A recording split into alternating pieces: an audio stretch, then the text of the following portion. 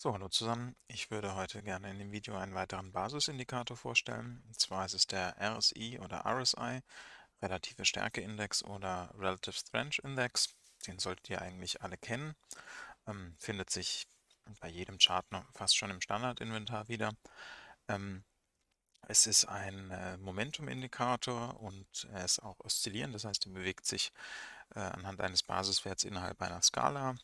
Ähm, normalerweise 0 bis 100, aber eigentlich erreicht er die beiden Extreme nie, hm, sondern eher so ja, 10 bis 90 vielleicht. Und ähm, in dem Video soll es erstmal darum gehen, ihn grundsätzlich vorzustellen und ein paar Tricks euch äh, zu zeigen. Und dann werde ich wahrscheinlich in einem weiteren Video noch ein paar äh, erweiterte Strategien zeigen. Also generell zeigt der RSI eben das Momentum an und zwar nimmt er dafür die Auf- und Abwärtsbewegungen über einen Zeitabschnitt und mittelt diese.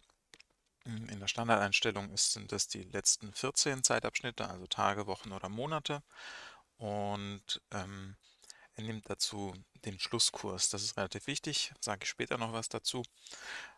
Hm, ihr könnt oder ihr solltet vielmehr, äh, wenn möglich, nicht irgendwelche Kaufentscheidungen alleine nach dem RSI treffen oder vielleicht überhaupt, sondern es ist einerseits ein Lagging-Indikator, das heißt, er ähm, ist nicht äh, zeitaktuell äh, anhand des oder zu dem Chart, den ihr gerade betrachtet, weil er ja erst die Mittelwerte nehmen muss. Und ähm, das kann man ein bisschen tweaken, das zeige ich äh, später.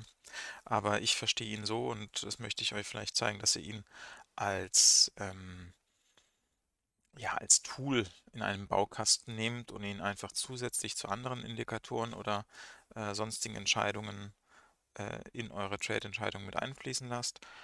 Und ähm, die Gefahr besteht einfach gerade bei jüngeren Tradern, dass sie in irgendwelchen Kursen oder äh, in irgendwelchen Büchern oder wo auch immer lesen, dass man ähm, ganz einfach anhand des RSIs verschiedene Kaufentscheidungen treffen kann und das ähm, ergibt eindeutige Signale und so weiter und dem ist einfach nicht so.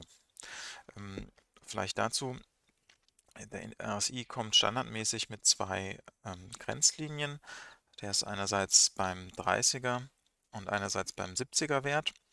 Und ähm, man spricht unterhalb vom 30er letztlich vom Oversold-Bereich oder überverkauftem Bereich und ähm, im oberhalb des 70er Bereichs vom Overbought oder überkauftem Bereich.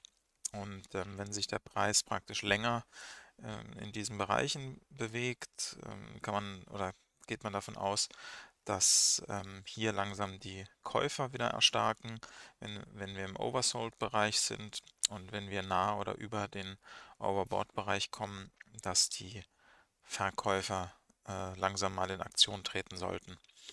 Ähm, es ist jedoch nicht beileibe so, dass ähm, der Preis oder der RSI nur ganz kurzfristig in die beiden Zonen kommt, sondern er kann relativ lange dort verweilen. Das ist vielleicht auch eine, eine falsche Annahme, die viele treffen. Äh, man, man liest es auch ganz oft in irgendwelchen Chats oder, oder hört es auch, ja, ähm, der und der Kurs ist, ist overboard, das heißt, sofort kommt ein Reversal und ähm, jetzt einsteigen und so weiter.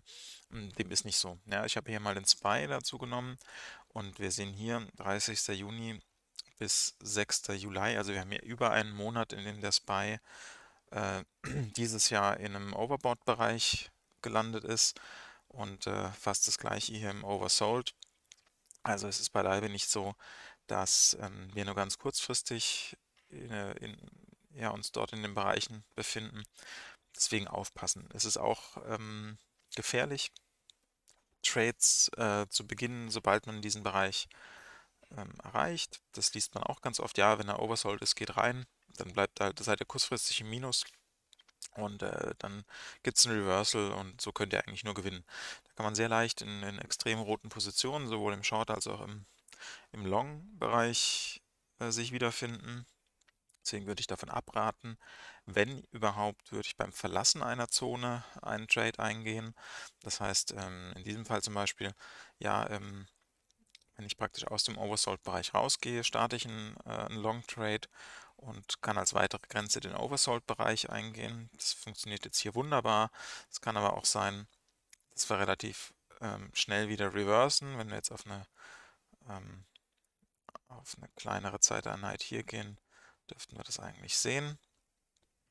Ja, also hier sind wir praktisch sofort reverse, dann kann man natürlich mit Stop-Limits arbeiten, aber es ist auch nicht immer gegeben, dass wir ähm, da reversen. Und ganz wichtig, es ist keine direkte Widerspiegelung eures Preises. Ja, also ihr seht zum Beispiel hier, das war der große Einbruch im August.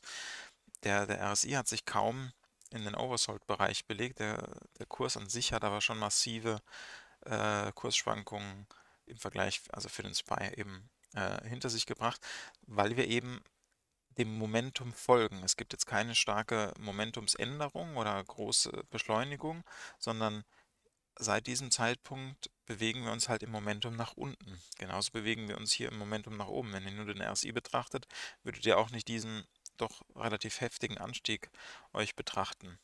Ja?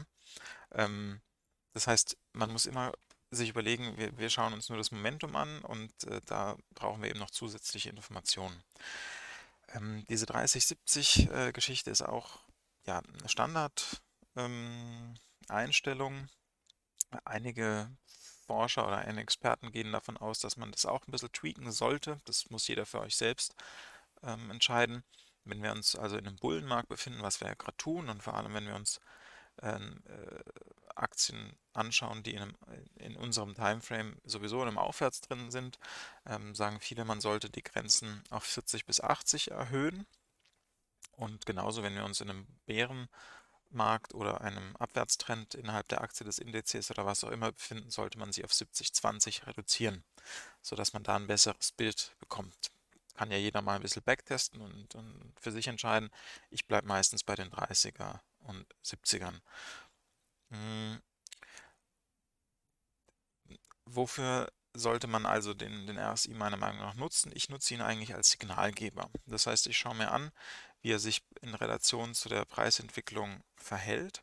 Ähm, es kommen dann noch ein paar andere Sachen dazu, wie Divergenzen, aber das kommt sicherlich im zweiten Video, weil das jetzt hier zu weit führen würde. Und ähm, ich habe für mich so ein paar kleinere Tricks gefunden. Das ist jetzt auch nichts Weltbewegendes, aber vielleicht wissen es einige noch nicht, die mir helfen, die, die, ähm, die Betrachtung vom RSI ähm, zu vereinfachen und mir ein paar ja, einfache Tools zu geben. Zum einen ist es so, mh, hm, ihr seht ja, wenn ihr euch das Ding anschaut, dass er relativ abgehackt ist. Also wir haben, wir haben ganz scharfe, scharfe Preisbewegung, äh, Kurs, Kursbewegungen des RSCs, also vom Indikator, relativ starke Bewegungen. Ähm, und das würde ja eigentlich, wenn man auf den ersten Blick drauf schaut, ganz, ganz starke Momentumsänderungen geben. Das kommt aber dadurch, äh, dass wir uns diese 14 Tage anschauen. Ich persönlich bin jetzt eher ein Swing Trader, wenn ich nicht gerade scalpe. Das heißt, ich schaue mir natürlich schon einen längeren Zeitraum an. Allerdings gehe ich ja eigentlich ganz gerne, wenn ich long gehen möchte, in einem Swing äh, in Aktien rein, die eher im Oversold einerseits Bereich sind, aber auch ähm, gerade sowieso runtergebeutelt sind, auch wenn es der RSI vielleicht nicht zeigt.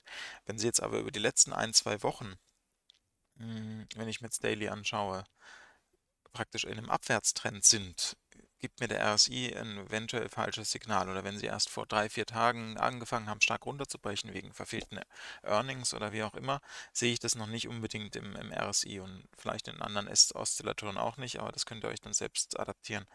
Hm, was ich dann ganz gern mache, ich passe den RSI an in der Länge.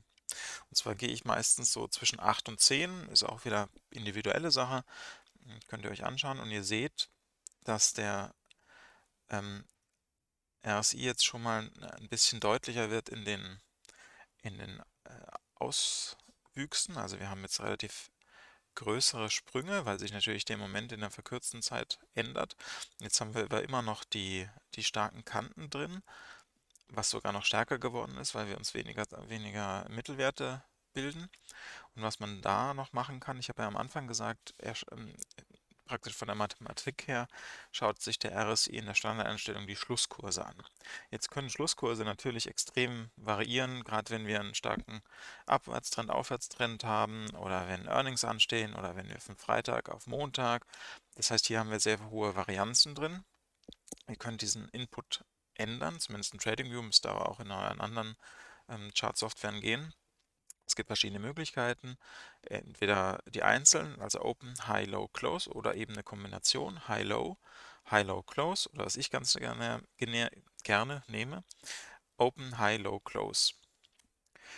Und jetzt seht ihr, dass mein Kurs schon mal viel runder wurde und er, er auch einen gewissen anderen Moment hat. Warum ist das so? Jetzt schauen wir uns, auf den größeren Zeiträumen sieht man es besser, wir schauen uns jetzt einfach im Prinzip einen Mittelwert des Tages an, weil wir uns eben den Open und den Close Kurswert äh, anschauen, den High und den Low, also Tages-High, Tages-Low und davon einen Mittelwert bilden und das dann nochmal äh, in meinem Fall der zehn letzten Zeitabschnitte gemittelt. Und ähm, das gibt ein wesentlich besseres Abbild des Kurses und sagt mir einfach mehr zu. Ähm, und um jetzt noch ein bisschen dem entgegenzuwirken, dass wir eine falsche Einschätzung vom Oversold Overboard bekommen oder eine falsche Einschätzung vom Moment, ähm, lege ich noch ganz gerne Mittellinie in den RSI und zwar bei 50, logischerweise. Und jetzt kann man so als, als ähm, ungefähren Gradmesser sagen, alle Aktionen im RSI, die über der Mittellinie existiert, ist bullish und alle darunter ist bearish.